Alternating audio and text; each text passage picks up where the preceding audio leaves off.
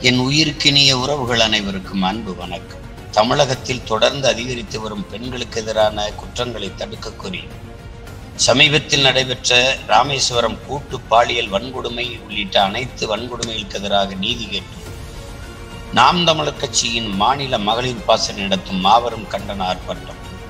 நாள் பத்து ஆறு இரண்டாயிரத்தி இருபத்தி ரெண்டு நேரம் மாலை நாலு மணி திருச்சி சமயபுரம் மாரியம்மன் கோயில் மானத் தமிழர் எல்லாம் மறக்காமல் கூடும் நாம் தமிழர்